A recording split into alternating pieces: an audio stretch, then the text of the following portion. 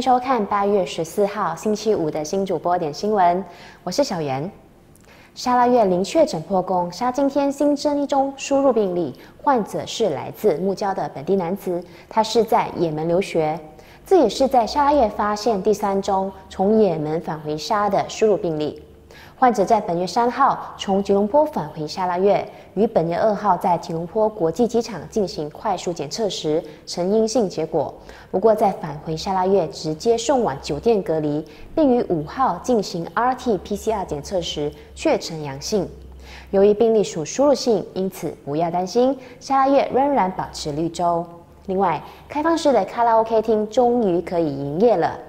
沙灾难管理委员会主席莱德阿马 Douglas 宣布，经过沙地方政府及房屋部对开放式客厅，包括民歌餐厅、bistro 及卡拉 OK 厅，将获准在明天即十五号起恢复营业。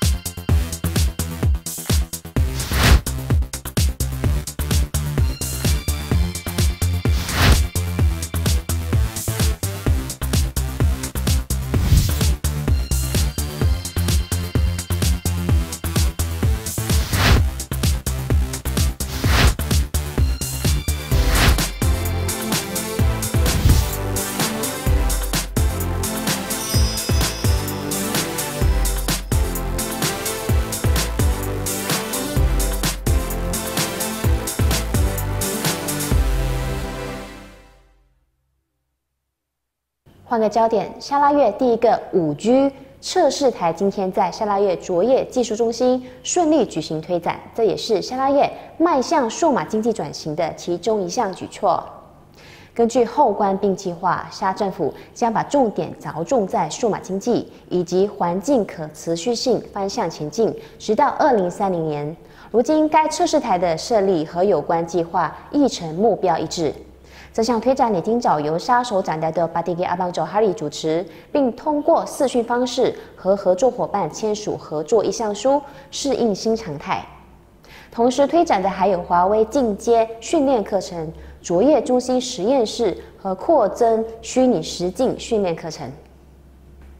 接着关注法庭新闻。被英媒《太阳报》揭露涉及黑市器官买卖的本地男子，昨天向警方自首后，今天被警方押上法庭，申请延扣七天驻查或批准，扣押期直至本月二十一号。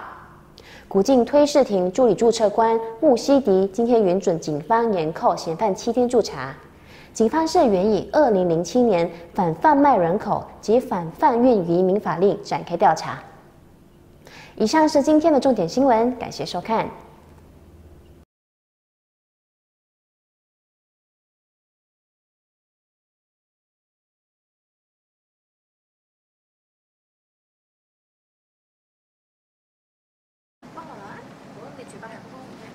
啊？